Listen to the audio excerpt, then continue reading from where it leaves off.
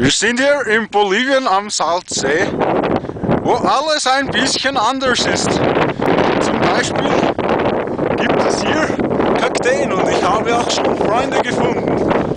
Wie heißt du? Hallo, my name's Cactus. Oh, Konrad, hallo. Das ist, das ist echt cool. Die Leute werden sich freuen zu Hause.